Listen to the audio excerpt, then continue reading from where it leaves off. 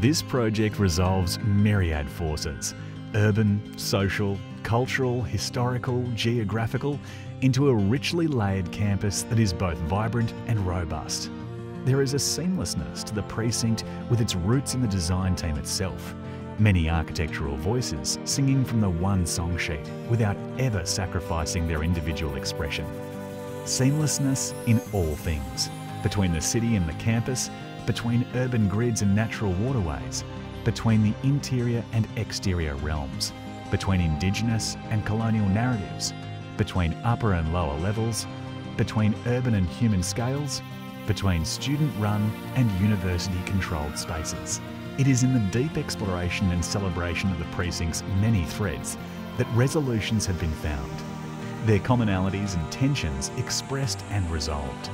A microcosm of what a city could be and ought to be accommodating, inclusive, delightful.